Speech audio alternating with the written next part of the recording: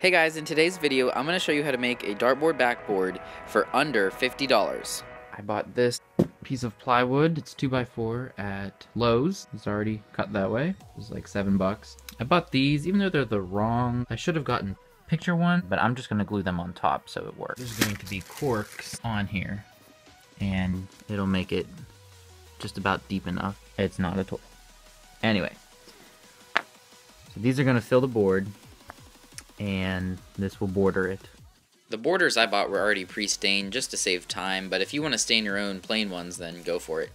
So what you're going to need is a pencil, that triangle metal ruler thingy, and some wood glue.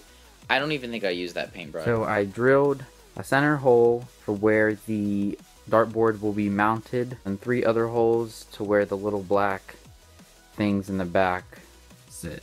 So there's already a metal bracket that's in the wall that comes with the dartboard, and to get it to line up, that's why you had to drill the holes in the plywood.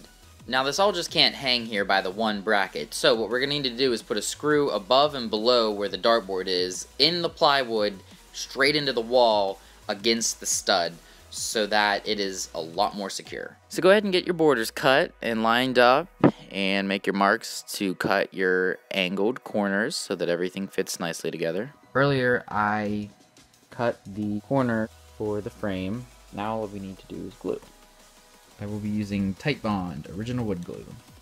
Obviously just make sure you line up all your edges. That's one side down and three to go. So, you're gonna let it sit here for 30 minutes and we'll be back. Make sure that you wait for each side to dry before you go to the next side. So before gluing down all these corks, I decided to lay them out on the board and come up with like a pattern and see how many I really needed.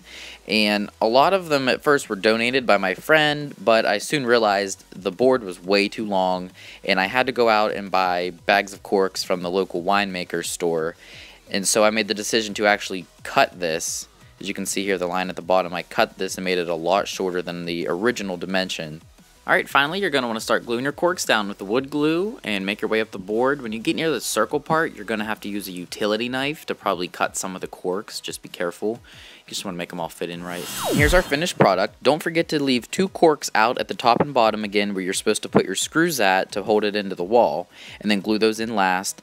And not all corks are the same size so we had to add some dowel rods on both sides just to make it fit a little better. But as you can see, it fits perfectly in the wall and it's going to protect the wall from any, you know, stray darts or things like that. So thanks for watching, guys.